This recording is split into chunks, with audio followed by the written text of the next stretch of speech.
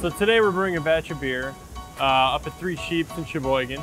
It's a farmhouse style ale and we're using kind of a unique ingredient from uh, the coffee farm called Cascara. We have a really great relationship with uh, Three Sheeps.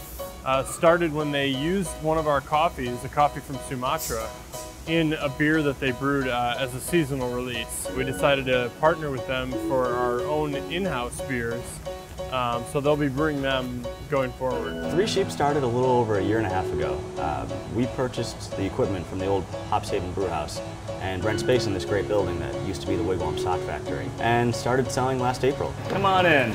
We were just named RateBeer's Best New Brewery of 2012 for Wisconsin, pretty much floored us.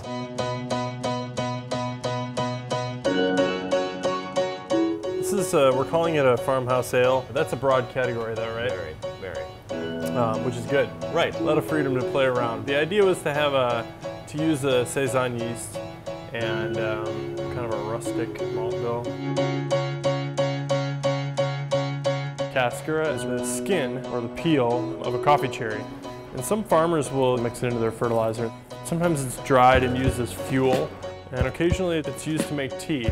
This really fits right in with what we enjoy doing. Uh, you know, brewing with more unconventional ingredients that just give some great flavors and uh, experiences to those who want to drink it.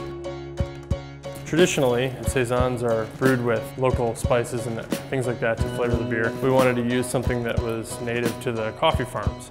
And so the most obvious ingredient in our minds is this cascara. Since it has sort of that herbal, hibiscusy, uh, fruity flavor, we thought it would pair actually very nicely with Saison. So there were all kinds of really interesting and convenient from a flavor perspective tie-ins with the Cascara and the farmhouse ale.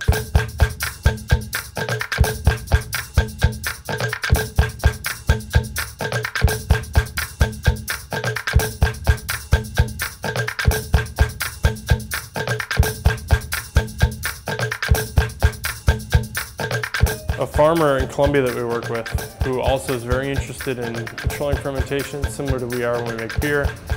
He's, he's making tea with this Cascara product in Colombia. He shipped us his Cascara and we're using it in a beer here in Milwaukee.